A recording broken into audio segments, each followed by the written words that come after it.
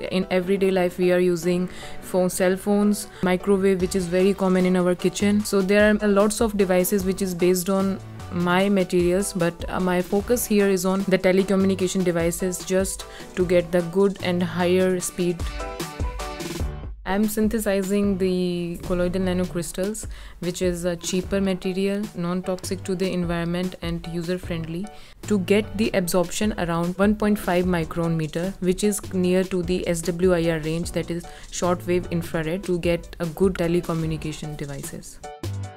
I love to do cooking and I love to do biking, so I go for biking and for three hours or four. Having a unprofessional thing along with your professionalism, it's a great combination to boost your brain and to go ahead